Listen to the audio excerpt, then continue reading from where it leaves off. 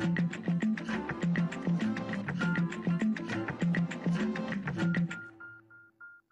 Bienvenue à vous en direct sur Public Sénat. Voici les titres du 22h ce soir.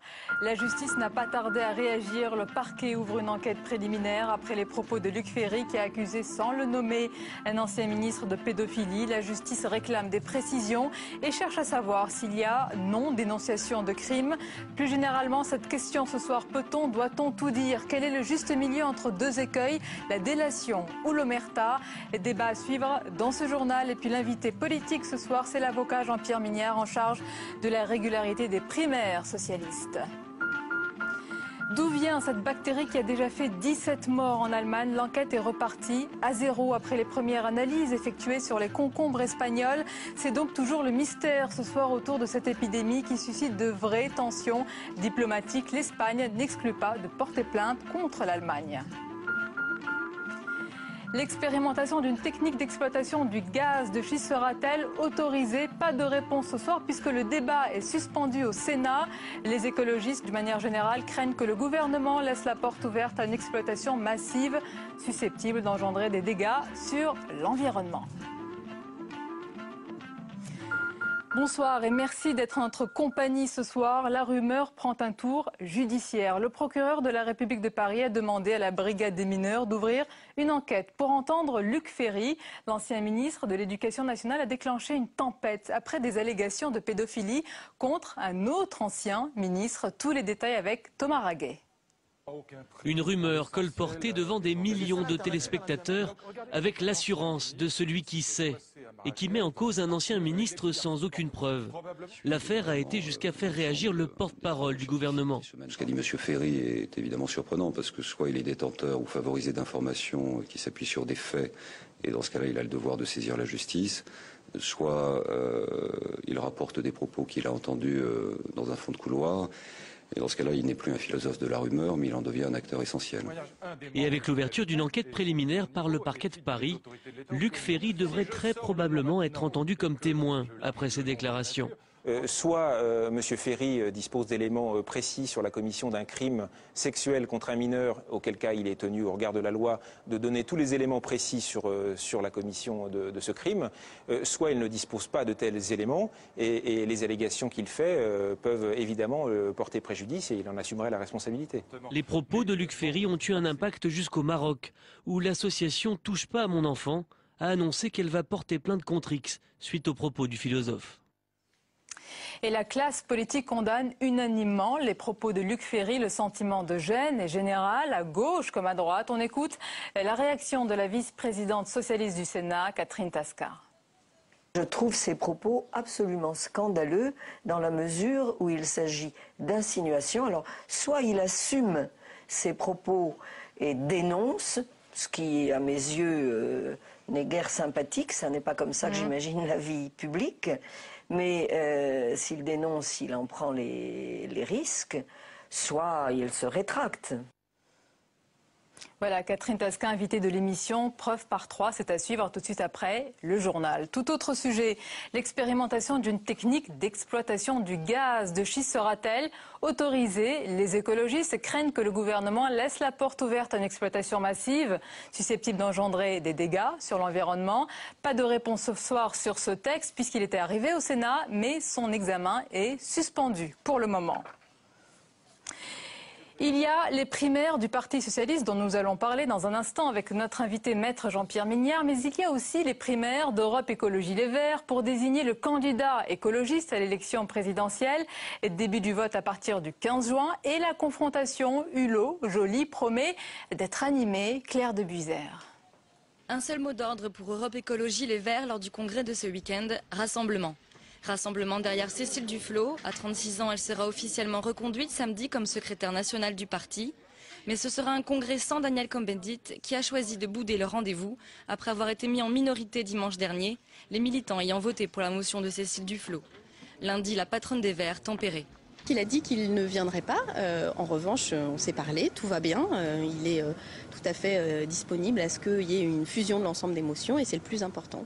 Moi, je pense que Daniel Cohn-Bendit est indispensable à Europe Écologie Les Verts. Je l'ai toujours pensé. L'enjeu de ce congrès est de fusionner les différentes motions.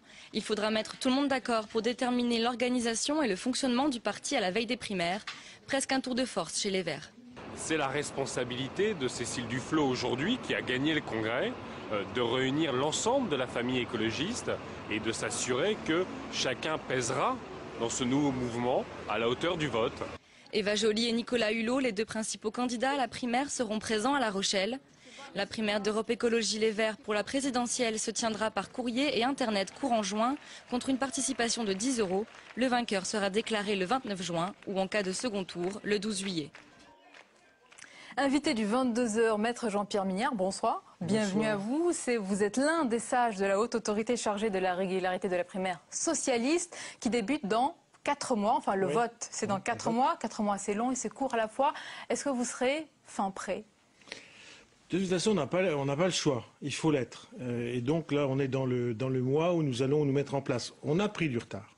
On a pris du retard parce que Mme Delmas-Marty, qui était membre de la haute autorité pour des raisons d'agenda, était professeur au Collège de France, a constaté que la charge était trop lourde. Euh, c'est Mme Catherine Barbarou qui la remplace, qui est donc économiste et haut fonctionnaire, avec le préfet Rémi Potra et moi. Donc on a un mois pour se mettre en place avec en effet un agenda de travail qui est lourd et beaucoup de difficultés, vous allez dire si c'est le cas. Est-ce que, comme le laissent entendre certains ténors socialistes, eh bien, certains préfets sont réticents à vous transmettre les fameuses listes électorales dont vous avez besoin? Oui, il y, a des, il, y a des, il y, a des, réticences ici ou là qui, de toute façon, seront vaincues parce que euh, ah. les, le, la transmission des listes électorales est, est prévue par la loi et deuxièmement. Pourquoi ils traînent des pieds alors bah, Ils traînent des pieds parce que, je sais pas, euh, pour, euh, parce que peut-être que l'exercice euh, électoral leur déplaît ou parce qu'ils ils ne savent pas exactement s'ils doivent le faire ou s'ils doivent retarder. Il ne faut pas y voir un aspect politique. Oh, il doit y avoir quand même une arrière-pensée, en tout cas quand il y a de la réticence. De toute façon, cette réticence, elle sera vaincue. Ça, c'est une certitude.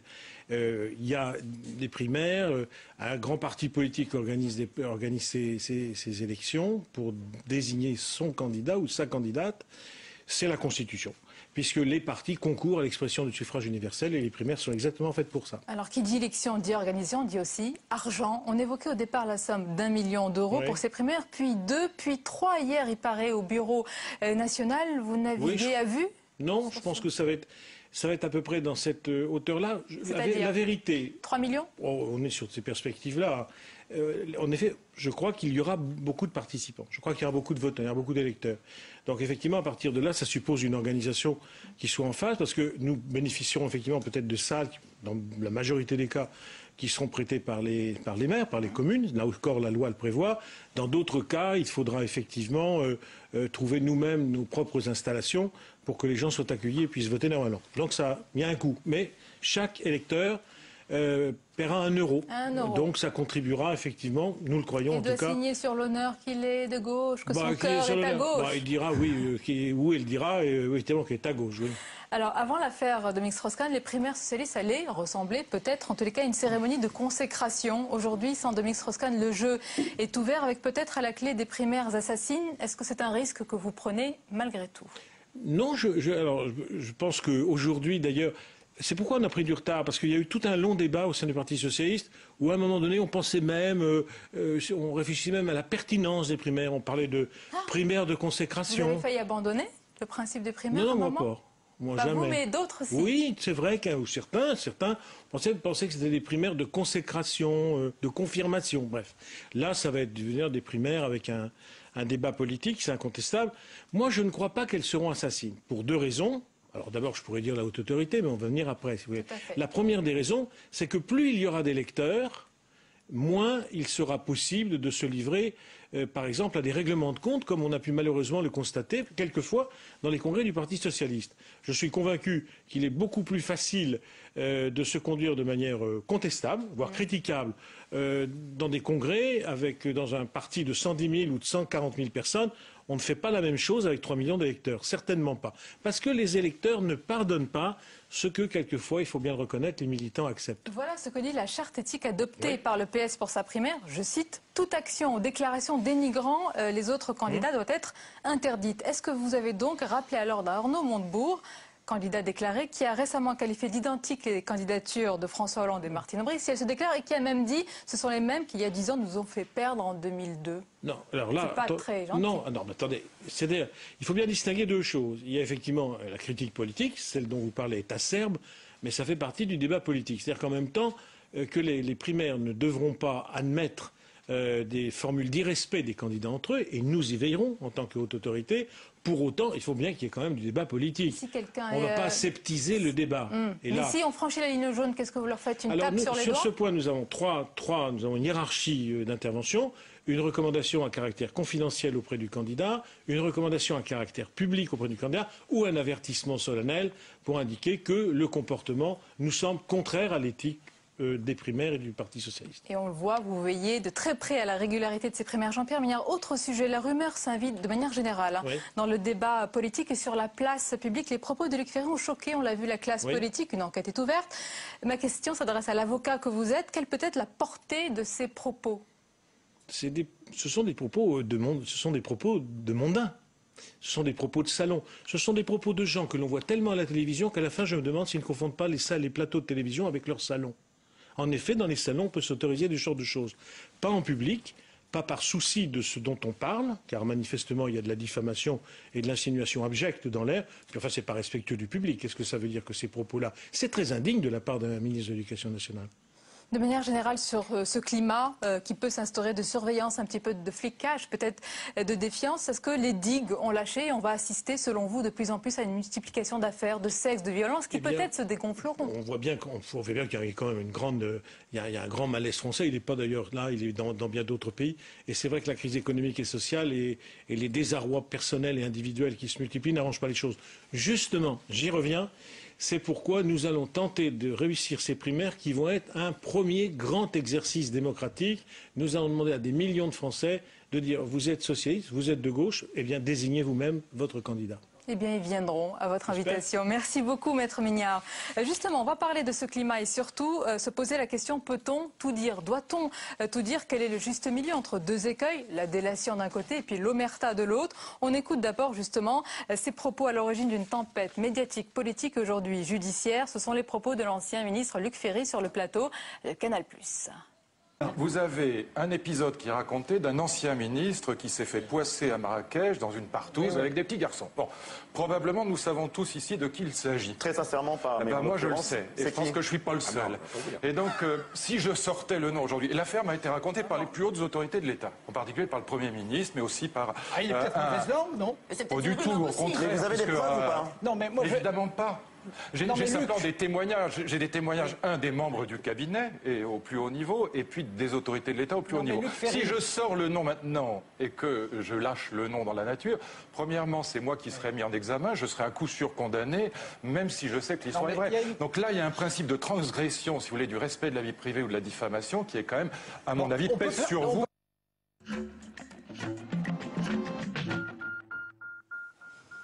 Voilà, je vous l'ai dit, des propos qui ont déclenché une tempête médiatique, politique et à présent judiciaire, avec le parquet qui demande des comptes à Luc Ferry, nos invités, pour parler de cela et puis plus généralement du climat qui s'instaure. Christian Delporte, bonsoir. Bienvenue à vous. Vous êtes historien, auteur d'une histoire de la séduction en politique. Avec nous également, Laurent Guimier, bonsoir. Bonsoir. Bienvenue à vous, directeur d'Europe 1.fr. Tout d'abord, en écoutant ces propos, selon vous, est-ce que c'est c'est de l'ordre de la rumeur?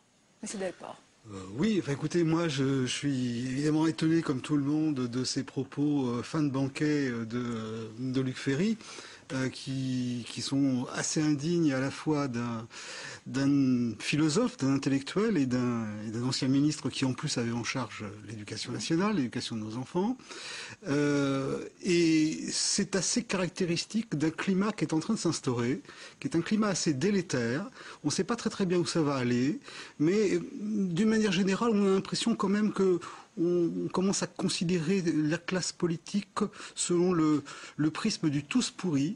Ça me rappelle, en tant qu'historien, un certain climat, il y a bien longtemps, et qui m'inquiète. C'est la même analyse que vous faites Oui, oui, là, là-dessus, on, on sera d'accord. Euh, on ne peut qualifier ces propos que de rumeurs, puisque lui-même, Luc Ferry, il y a quelques heures, euh, a été amené à, à- à se justifier ou à reparler de ce qu'il avait dit. Et en fait, il a dit euh, Je ne sais pas qui c'est, je ne sais pas où, je ne sais pas comment, mais on me l'a raconté. Ça s'appelle une rumeur, tout simplement. Et effectivement, de la part d'un dépositaire, ex-dépositaire de, la parole publique, d'un titulaire d'un poste éminent du gouvernement, ça ne peut pas passer inaperçu. Parce que c'est Luc Ferry, parce qu'il est philosophe, mais parce qu'il a surtout été ministre de l'Éducation nationale et qu'il dit, les plus hautes autorités de l'État me l'ont dit, euh, on ne peut pas penser que ça n'est que euh, la parole comme ça en l'air d'un philosophe. Il a aussi euh, pointé du doigt, hein, comme presque d'habitude maintenant, c'est la presse qui a montré du doigt. Vous, en tant que journaliste, quand vous avez écouté, vous êtes tombé de votre chaise, vous avez dit mais de quoi bah, il parle? Oui, parce que franchement, il n'est pas journaliste, la presse n'a jamais parlé de, ces histoires. Enfin, pour le coup, ça ne ressort que parce que Luc Ferry veut bien en reparler. Alors effectivement, le Figaro Magazine, et, c'est pour ça qu'il le cite, et, maintenant il en parle beaucoup de, de cet article du Figaro Magazine euh, en parle, mais, c'est tout. Enfin, je veux dire, c'est pas euh, cette histoire n'est pas n'est pas sortie de, par la presse. Et encore une fois, c'est parce que Luc Ferry, euh, entre guillemets, valide cette rumeur. C'est un peu compliqué de dire qu'on valide une rumeur, mais enfin, il dit que les plus hautes autorités de l'État lui ont dit que, ça devient une affaire. Hmm. Alors. Christian Delporte, justement, vous parliez de ce climat. Est-ce que, est que, justement, on va avoir une multiplication, on risque d'avoir une multiplication de ces affaires, de sexe, de violence, et finalement l'instauration d'un climat un petit peu de flicage mais pas seulement que des politiques d'ailleurs. Bah, depuis, depuis trois semaines, on a une affaire tous les jours. Je ne sais pas jusqu'où ça va aller. Je sais en revanche que derrière, il y a une campagne électorale qui euh, va être une campagne sans doute avec euh, beaucoup de tensions. Euh, moi, je, voudrais quand même dire un mot à propos du, de l'article du Figaro Magazine, parce que je trouve qu'on n'en parle pas suffisamment. Oui, Précisez-nous aussi pour les téléspectateurs de quoi il s'agit. Bon, je, je l'ai lu, il fait 20 lignes. il ne s'agit pas d'une enquête, il s'agit d'un colportage de rumeurs. C'est un contre-exemple pour les écoles de journalisme. Et ça se termine, je l'ai sous les yeux, par notre source marocaine craint pour sa, carrière, l'affaire a été étouffée, faute d'éléments de procédure ou de témoignage, la loi nous interdit légitimement de nommer le personnage. Donc on ne sait pas qui, on ne sait pas où, on ne sait rien, on ne sait strictement rien, on colporte une rumeur. Je pense qu'il euh, y a un grand débat aujourd'hui sur euh, est-ce que la presse doit ou non parler de la vie privée? Je ne sais pas, en tout cas, s'il faut en parler comme ça. Justement, mais quel, quel est le juste milieu entre peut-être délation et omerta entre la presse française telle qu'elle est et puis euh, la presse anglo-saxonne Moi, je pense tout simplement qu'entre l'omerta et, euh, la rumeur, il y a le journalisme. C'est-à-dire que euh, quand on parle de, la vie privée, il y a deux choses. Il y a la vie privée qui peut tomber sous le coup de la loi, répréhensible, et puis il y a la vie privée qui, est simplement de l'ordre de la façon dont on a décidé de vivre avec ses proches, avec ses amis, sa femme, ses, enfants, etc. Enfin, je veux dire, ce sont deux choses complètement différentes. Euh, moi, il m'est arrivé d'enquêter sur, sur la vie privée euh, d'un homme public, justement, mais je ne me suis intéressé qu'à des choses qui pouvaient éventuellement être répréhensibles ou tomber sous le coup de la loi. Enfin, que la personne aime les chiens, les chats, ou ait des mœurs soit hétérosexuel, homosexuel, etc., je m'en fous complètement. Enfin, ce qui est intéressant, c'est de savoir, quand on s'intéresse à la vie privée d'un homme euh, ou d'une femme publique, d'ailleurs, c'est de savoir si éventuellement il a piqué dans les caisses, dans la caisse, euh, ou si... Il y a des euh, conséquences pour le citoyen qu'il représente. Enfin, oui, oui, il y a ça, mais aussi si tout simplement s'il a agi de façon répréhensible aux yeux de la loi. C'est peut-être une façon un peu conservatrice de considérer la, façon de, la préservation de la vie mm. privée, mais enfin, en tout cas, moi, c'est ma façon de voir les choses. Alors, Christian Delporte, retour des inquisiteurs, parfois des saints justes en tous les cas, peut-être le temps d'une soirée, d'une émission. Euh, qu'est-ce que ça va laisser comme trace La rumeur, qu'est-ce qu'elle laisse comme trace? Elle part? Si l'affaire se dégonfle après ou elle reste? euh, Ça dépend si on l'entretient ou pas. Ça dépend si on l'utilise, si on l'instrumentalise sur le plan politique. Or, j'ai peur que là, précisément, dans les circonstances, dans le contexte où nous sommes, c'est-à-dire avec l'échéance électorale, il y ait cette tentation d'instrumentaliser ces rumeurs. Et je crois que la presse aurait bien tort de suivre ce mouvement, parce que quand elle le fait, c'est déjà arrivé, euh, quand elle se transforme en police morale, on n'est pas loin d'une action totalitaire. Hmm. Justement, Laurent Guimier, je pose souvent la question depuis, euh, depuis les affaires de Mix et les affaires Tron à nos invités politiques de savoir si la morale, l'éthique, toutes ces affaires vont s'inviter dans le débat, dans la campagne. Est-ce qu'on risque d'avoir, selon vous, une campagne, ben, je vais dire le mot, un peu glauque, un peu noire? Oui, bien sûr, je le crains.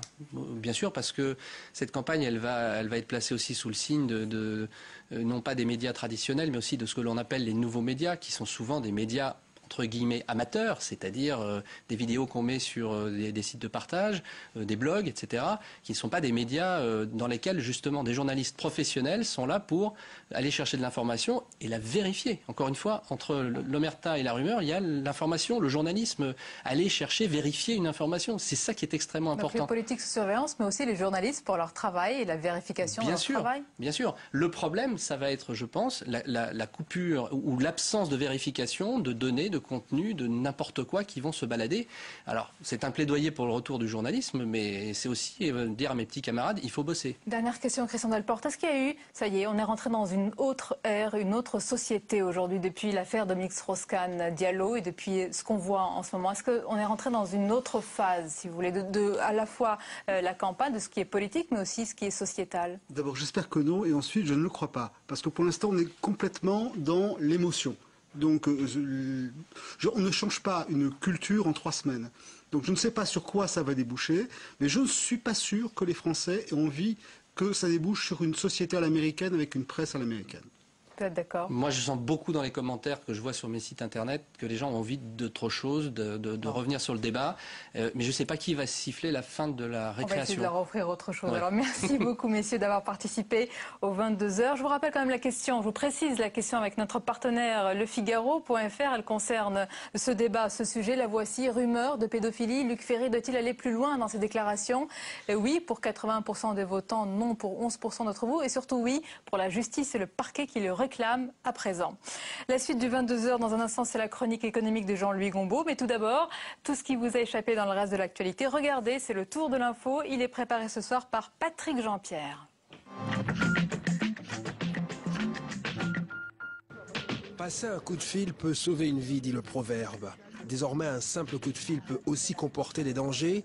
L'Organisation mondiale de la santé parle de risques pour les utilisateurs. Ils encourent des tumeurs cérébrales à cause des ondes, des constats scientifiques qui dérangent les opérateurs de téléphonie mobile qui se sont empressés de nuancer ces résultats. Une attitude irresponsable selon certaines associations de sécurité sanitaire. Si les opérateurs étaient vraiment euh, responsables, ils devraient dire il y a un risque, donc on va, on va travailler pour le diminuer. Qu'est-ce qu'ils font là? Ils essaient de faire croire, essaient de sauver leur, euh, leur outil. Donc on voit bien que ce qui les intéresse d'abord, c'est de faire des bénéfices. Les concombres espagnols lavés de tout soupçon de contamination, la Commission européenne a levé la mise en garde lancée contre ces légumes, une décision prise pour redonner espoir aux agriculteurs espagnols accusés à tort. Reste que la course contre la montre est lancée pour trouver les causes réelles de l'épidémie qui a déjà fait 17 morts. En France, les autorités surveillent également l'évolution de la contamination. Une cellule de crise a été créée. Radko Mladic devant ses juges vendredi. L'ancien chef militaire des Serbes de Bosnie encourt une peine de prison à vie. Les juges du tribunal pénal international pour l'ex-Yougoslavie lui demanderont s'il plaide coupable ou non des 11 chefs d'accusation retenus contre lui. Aujourd'hui, nous avons finalisé et transmis un acte d'accusation modifié qui prend en considération le développement de la jurisprudence et de nouveaux faits. L'acte d'accusation modifié prévoit d'apporter plus d'informations sur les accusations portées à l'encontre de Mladic. Pour l'heure, Mladic rejette toutes les charges qui pèsent sur lui. La question de la recherche sur l'embryon divise toujours les parlementaires. Les sénateurs l'avaient autorisé, les députés aussi, mais ces derniers ont finalement fait machine arrière, se rangeant ainsi derrière la position du gouvernement. Certains sénateurs ne comprennent plus. On est revenu à l'hypocrisie, c'est-à-dire qu'on interdit, mais il y a des exceptions, donc on n'assume pas euh, vraiment. Il faudrait mieux de, revenir au texte du Sénat, euh, c'est-à-dire autorisé et bien encadré. Il y a la journée internationale des femmes ou encore celle de l'abolition de l'esclavage. Il faudra désormais compter avec la journée nationale de la laïcité. Elle aura lieu le 9 décembre, date anniversaire de la loi de 1905 de séparation de l'Église et de l'État. L'Union centriste a été le seul groupe à voter contre, affirmant qu'il n'y a pas de contestation sérieuse du principe de la laïcité.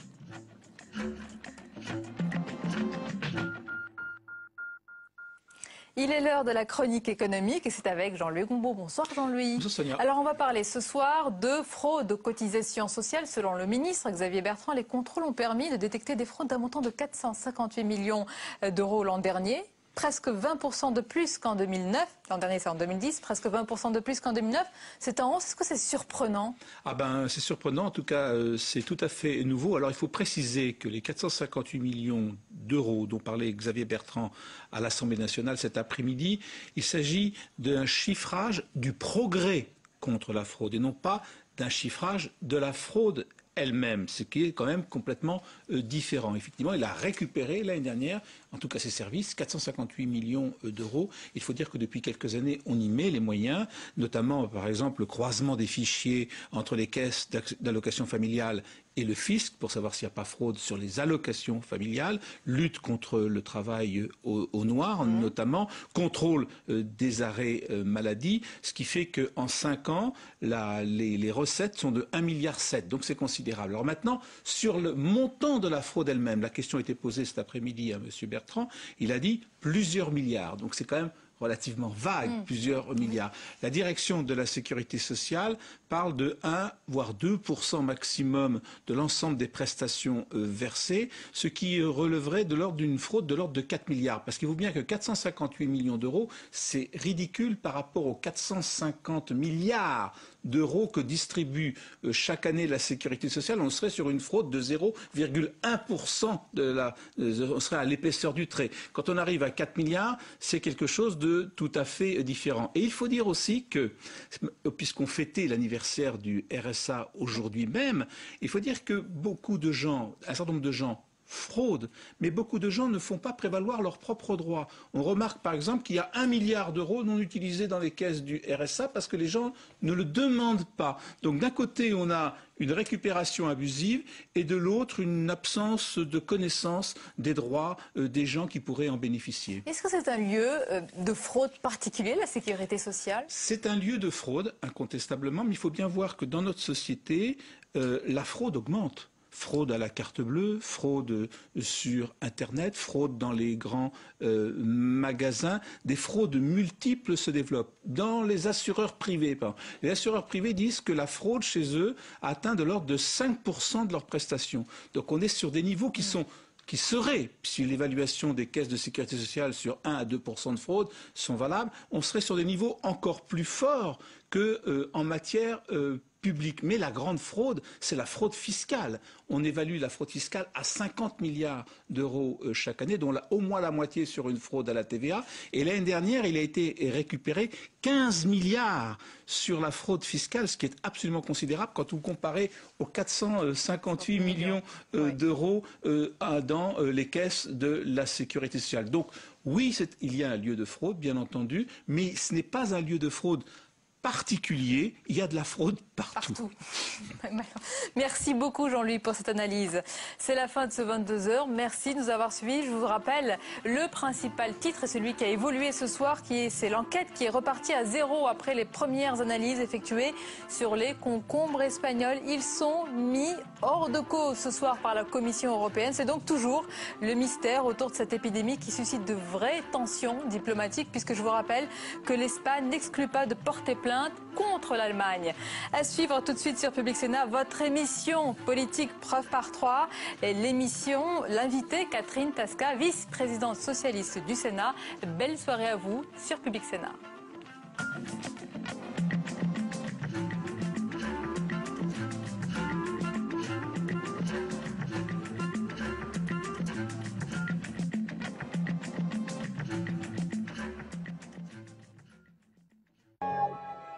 À l'heure où les révolutions arabes redessinent l'ordre international, ce documentaire rappelle les évolutions de notre diplomatie depuis les premiers émissaires de François Ier.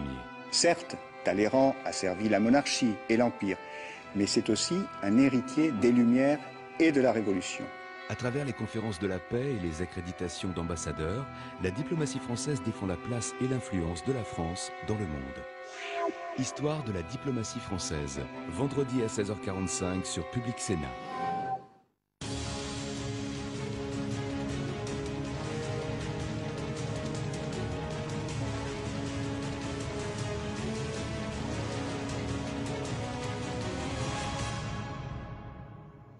Catherine Tasca, vice-présidente socialiste du Sénat et ancienne ministre de la Culture, est l'invitée ce soir de Preuve par trois. Bonsoir. Bonsoir. Merci d'être avec nous. Nous allons développer euh, tout de suite euh, les questions d'actualité. Et puis dans un quart d'heure, Christine Pouget de l'AFP nous rejoindra pour vous interroger sur la situation du Parti socialiste, peut-être pour savoir si vous vous sentez ou non orpheline aujourd'hui de Dominique Strauss-Kahn. Et puis à la fin de l'émission, c'est Sonia Mabrouk de Public Sénat euh, qui reviendra, qui viendra sur le plateau pour vous interroger sur votre parcours politique, votre parcours personnel. Tout d'abord, pour commencer, Catherine Tasca, euh, les propos de l'ancien ministre de l'Éducation, Luc Ferry, qui a accusé euh, lundi soir sur le plateau de Canal+, sans le nommer, un ancien ministre français d'avoir eu des relations pédophiles au Maroc.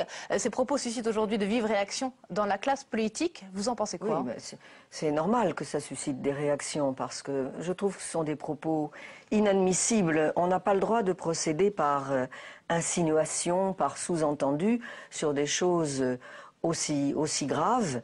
Je considère qu'en plus, ça fait vraiment tomber le, débat public, en effet, dans la polémique, mais dans la polémique de, très bas étage.